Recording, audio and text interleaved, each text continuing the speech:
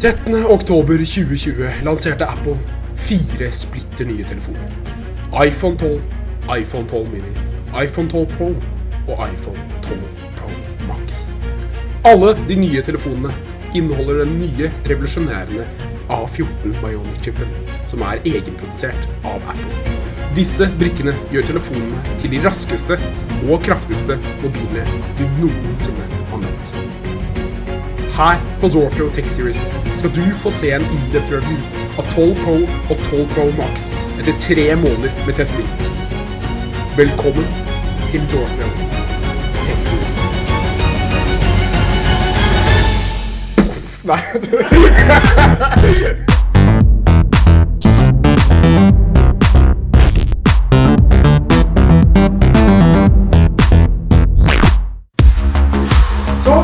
esken så finner du en eh, iPhone 12 Pro. Dette er Pacific Blue 12 Pro 128 GB. Den nye, fine, flotte fargen for året 2020.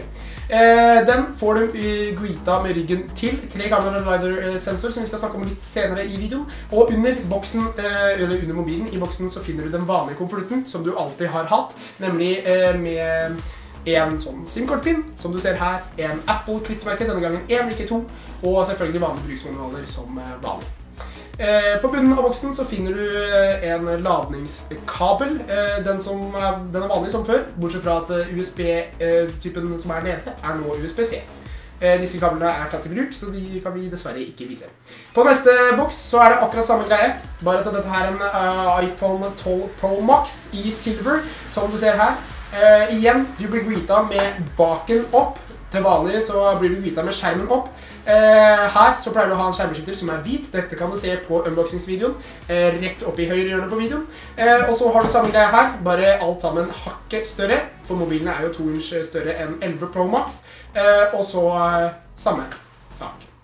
For å ta deksel så er det å bruke eh, MagSafe, som er de nye greiene rundt Apple-logoen. Så har du magneter, og du har en smart chip som kan lese hvilken farge og størrelse du har av MagSafe-produkter bak.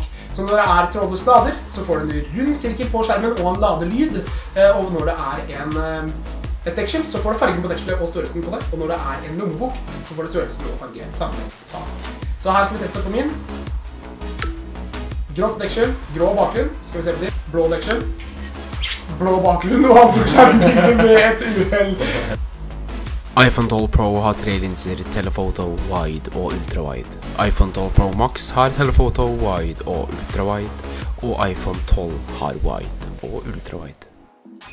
Likevel er det forskjell mellom eh, linsene på 12 Pro og 12 Pro Max og sensorene, og i tillegg så har 12 Pro og 12 Pro Max en LiDAR-skanner.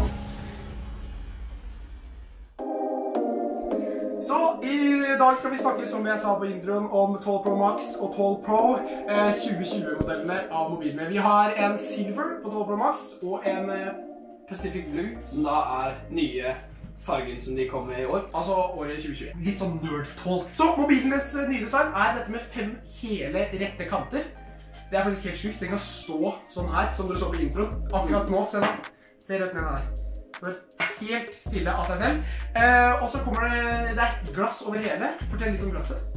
Eh, glasset på framsiden er jo da det nye Ceramic Shield, som sammen med den nye eh, utseendet, hvor glasset ligger helt flatt, skal gjøre at den tåler fire ganger eh, så mange dropp, da. Mm. Og det gjør den ved at de har faen meg klart å De har klart å integrere eh, ekte krystaller i glasset. Det er, det er magisk. Men det sier seg selv. Diamanter er jo noe av det hardeste i verden. Eh, og derfor kommer jo krystaller som nummer to.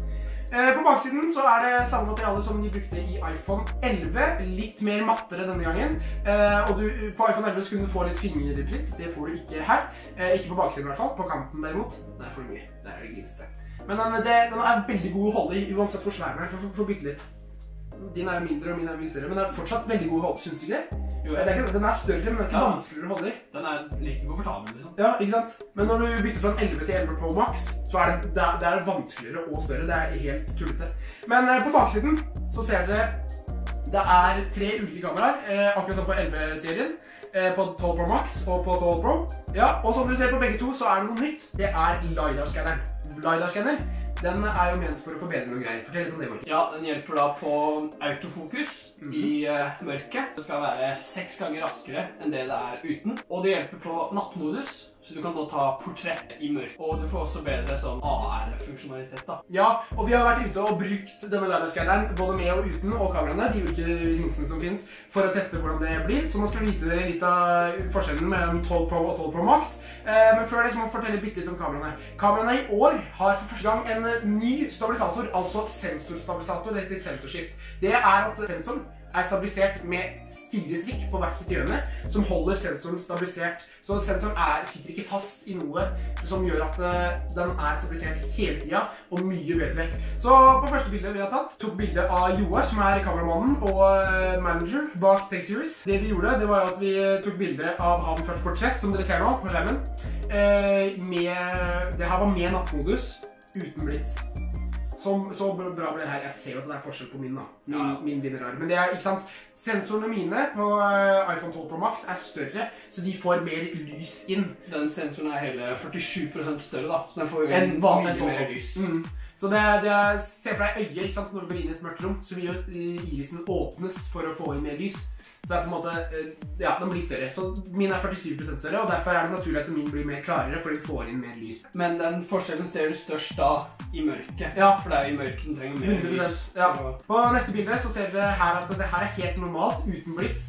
Banebilde. vanlig bilde. Uten nattmodus. Ja, jinx. Fokus på busken her. Igjen slipper inn litt mer lys fra snømannen som er bak der. I den hvite delen der. Eh, men så går vi videre. Og der ser vi mer blitz. Oi, slaven, jeg ble blind av han. Du er bleik, altså! Men hvis jeg zoomer inn på Gant-logoen eh, på genseren her, så eh, er din litt mer fuzzy enn det min er. Ja, det er, det Der er er det ganske mindre altså. forskjell, vil jeg si. Ja, det er mindre forskjell enn på de andre. Og så har vi portrettbilder. Eh, det her var med eh, LiDAR-skanner. Det er det som da er nytt i år. At du kan ta portrettbilder i mørket pga. LiDAR-scanner. Mm. Og det her ble jo dritbra. Se på kjekk du er kjekk, Johan. Joar. Så zoomer vi på Gantlogen her igjen, og så ser vi på 1949, da. Zoomer så langt inn du kommer. Der, ja. Ja, min er fortsatt litt mer sånn klarere. Din er litt mer sånn mm, noisy, eh, litt mer sånn fuzzy. Men eh, det er ikke store forskjellene, altså. Eh, Husk at dette her er i mørket. Det er i mørket det er størst forskjell. Men når du ser på i dagtid etter hvert, så vil du se på det er mye mindre forskjell. Men det er, det er minimale forskjeller. Men uh, igjen, det her er The Photographers iPhone. Og for første gang i historien så har Apple eh, kunnet uh, kalle sin mobil for uh, The Photographers og en Pro når det gjelder kamera. Det har de aldri kunnet før. Så det er, de har endelig skjønt det. At vi trenger å få kontroll over kameraene deres! Takk! Ok, men neste er portrettbildet i mørket. Uh, uten uh, blitz og uten nattmodus. Uh, der, der ble de nye lysere. Den slapp inn mye mer lys eh, fra opp på bak der. Og man vil jo egentlig tro at min gjør det, fordi min er større sensor, som jeg sa, den slipper mer lys. Men det som er greia er at den slipper inn nok lys til å kunne redigere og så dra ned igjen. For å kunne fokusere. For hvis du zoomer inn, så ser du at bildet ditt er litt mer den er mer noisere. Du har mer sånne der små prikker overalt enn det jeg har på mitt.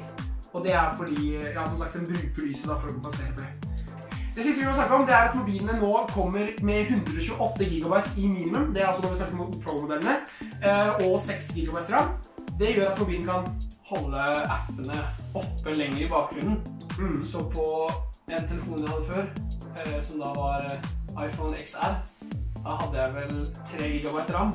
Og da merka jeg ofte at hvis jeg så på YouTube og gikk over til Snapchat, så lukka den ofte YouTube i bakgrunnen, sånn at jeg ikke fikk sett videre på den videoen jeg var på. mm. Men nå, hvis jeg går fra YouTube til Snapchat, så kommer jeg rett inn på samme videoen igjen etterpå. Det gjør altså mobilen ekstremt sterk og rask, og den kan faktisk ha, gjøre opptil 11 trillioner handlinger samtidig. Det er mer Jeg mener de kan telle det. Tusen hjertelig takk for at du så på. Lik, kommenter og abonner, så er vi tilbake 10. februar med nye episoder.